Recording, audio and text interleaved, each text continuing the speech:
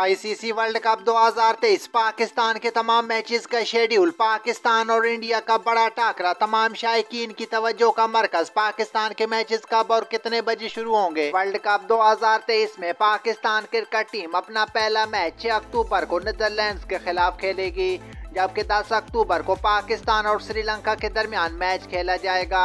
14 अक्टूबर को mother of all matches पाक पारा टाकरा होगा। जबकि 20 अक्टूबर को पाकिस्तान टीम ऑस्ट्रेलिया के खिलाफ मैच खेलेगी। तेईस अक्टूबर को पाकिस्तान और अफ़गानिस्तान की टीमें मध्य मुकाबले आएँगी। जबकि सताईस अक्टूबर को पाकिस्तान और साउथ अफ्रीका के दरमियान मैच खेला जाएगा।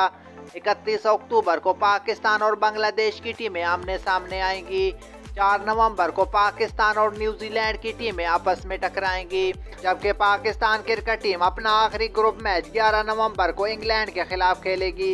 ये तमाम मैचेस पाकिस्तानी वक्त के मुताबिक दिन एक बजकर तीस मिनट पर शुरू होंगे। अब तक के लिए इतने। अगर वीडियो पसंद आई हो तो दिल से एक लाइक कर दे और मजीद अपडेट्स के लिए चैनल को सब्सक्राइब करके साथ मौजूद बेलाइकन पे प्रेस कर दें।